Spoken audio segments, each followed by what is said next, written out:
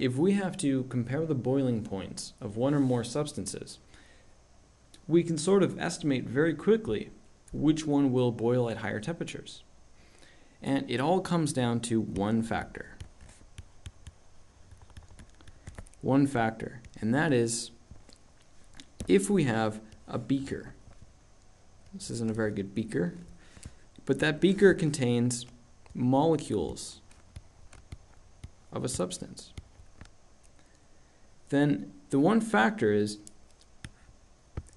how much how much how much force is there between the molecules? How much force between molecules? And this can also be referred to as intermolecular forces. Intermolecular forces.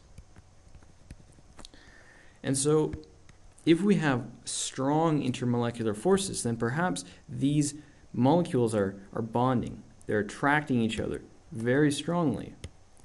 And so they won't break apart, and it will be much harder to boil them if they're all clinging to each other. So strong forces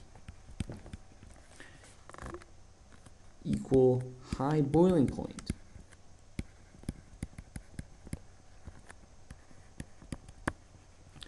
So the only thing we have to do is determine what makes a strong force. What do we have to do? What makes up a strong force? What is, uh, or, or sorry, what determines the force?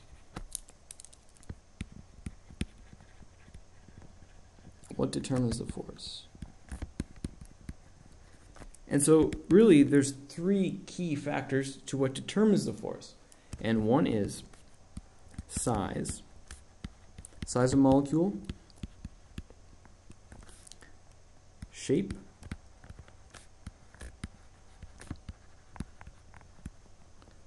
the shape of the molecule matters, and also the types of bonds.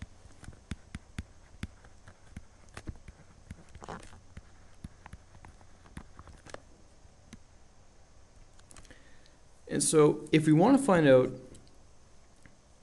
oops, for, for instance, if we look at the types of bonds, there could be, well, I'll, I'll use an example here.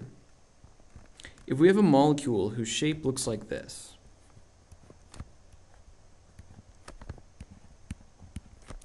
then what this does is it forms a hydrogen bond.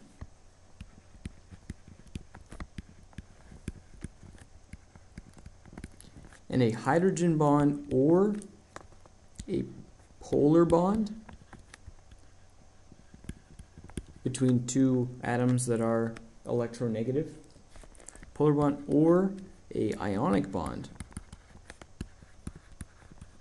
Those are examples of strong bonds. And so if a molecule has a hydrogen bond, a polar bond, or ionic bond, then the overall intermolecular forces are going to be great. And these types of bonds are greater than weak bonds, which are covalent, or they revolve around London forces.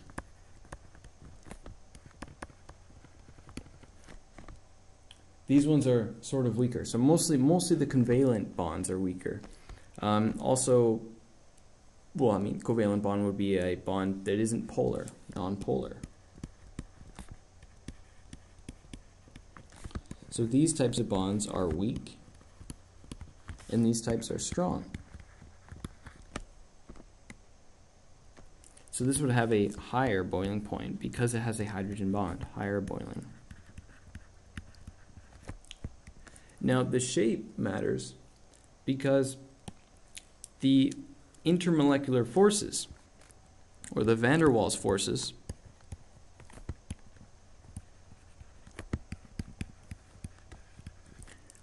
are greater when they when the molecule has a greater surface area. So these are greater when molecule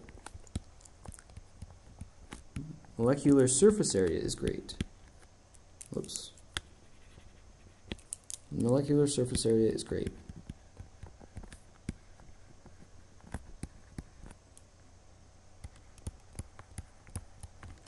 And so if we compare two shapes, if we compare a rectangle, terribly drawn rectangle, versus a sphere, then the sphere has lower surface area, low surface area, whereas a rectangle has high surface area.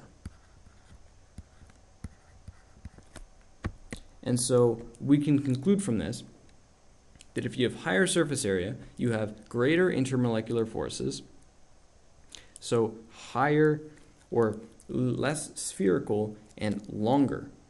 You know, the longer an object is, the higher the surface area. So if it's more rod-like, is higher, is higher boiling point.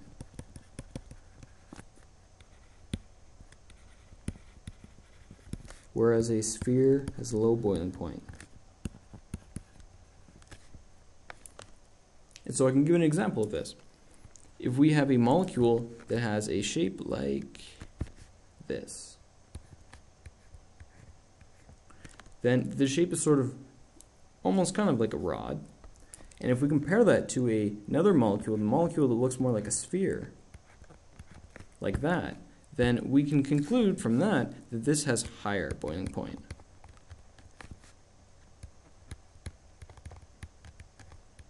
And this is lower. Now, the other factor is, of course, mass. Mass also has to do with the size. So that I'll add this here, mass matters.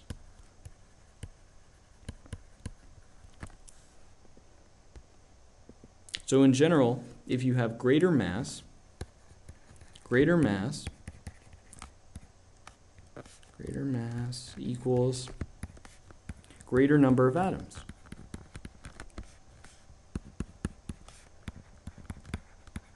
And so if you have a high amount of atoms, then you have not only higher probability of uh, strong bonds, higher likelihood or probability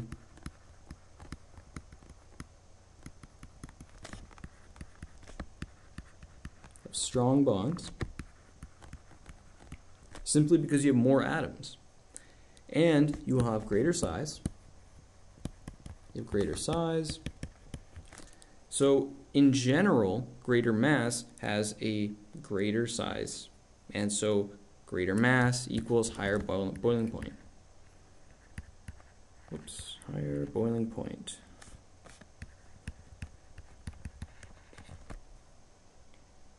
And so one other type of thing, when we compare the, the types of uh, bonds, I can give you a couple examples of those as well.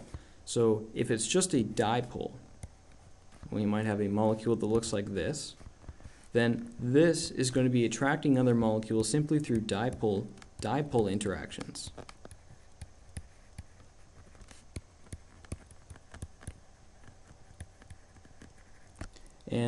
An ionic bond might look like we might have nitrogen,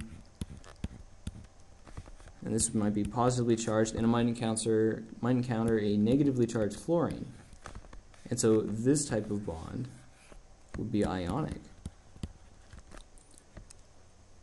And then uh, as above here, I wrote earlier that this might matter because we have a hydrogen bond. So that would be a hydrogen bond. So overall, what matters is size, mass, shape, and type of bond. A greater mass is a higher boiling point, a more high surface area shape will have a higher boiling point, and the more polar the bonds are, the higher the boiling point.